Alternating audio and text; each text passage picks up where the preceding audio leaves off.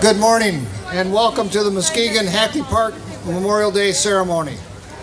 Today our, our honorary Grand Marshal is the family of Dwayne Butner.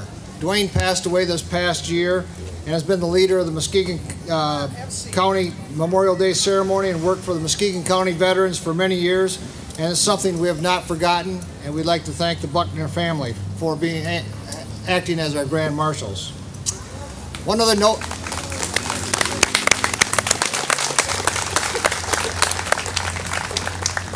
One other note before I forget, the Masonic Temple is serving cookies and uh, refreshments direct, right after our ceremony, and it's directly across the street. Please feel free to go over there. They'd love to serve you.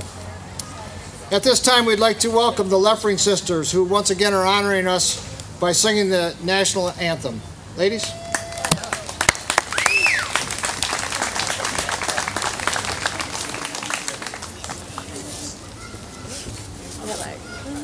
Rise, please. Oh, say, can you see by the dawn's early light what so proudly we hailed at the twilight's last gleaming, whose broad stripes and bright stars through the perilous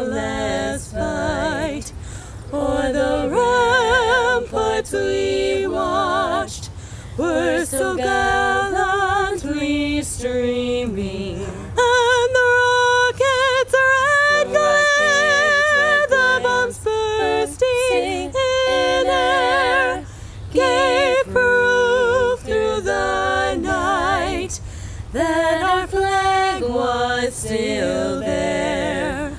Oh, say does that star-spangled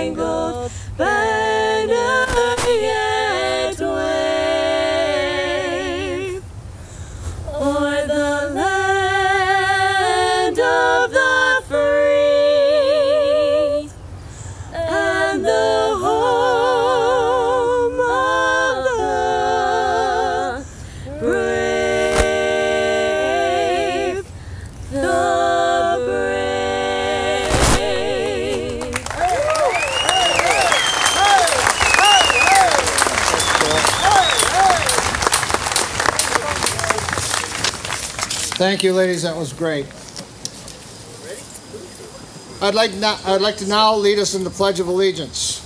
If you could all rise, if you could, please. Stay safe. Just stay safe. Order arms. I pledge allegiance to the flag of the United States of America and to the republic for which it stands, one nation, under God, indivisible, with liberty and justice for all. Order arms.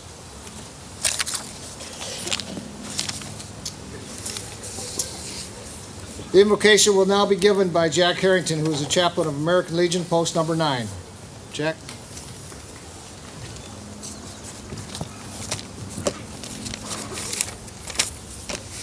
Shall we uncover? Almighty God, in whom we live and move and have our being, we come into your presence in hope and thanksgiving.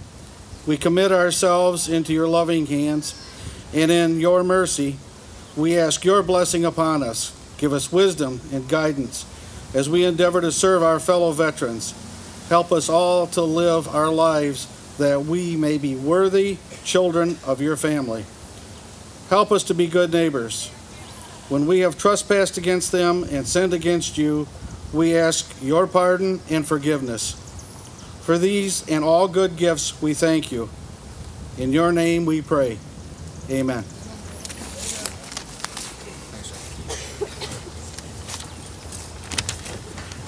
We will now have the posting of our colors. Ladies Auxiliary, please post.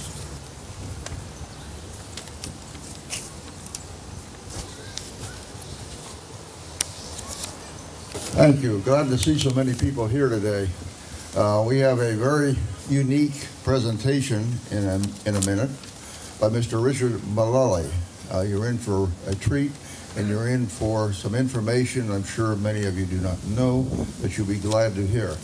Uh, Richard uh, is a Muskegon resident, been here a long time, and prior to the activities that he's now undertaking, he worked for 15 years within the county to do so, to do us all a big favor, and he's been very successful in that endeavor.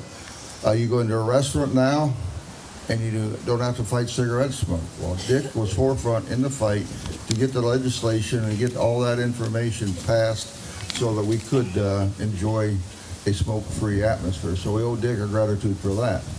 Well, as that became accomplished, Dick figured, well, there's got to be something else that I should do because all this time he had recognized that we were losing our World War II veterans too fast.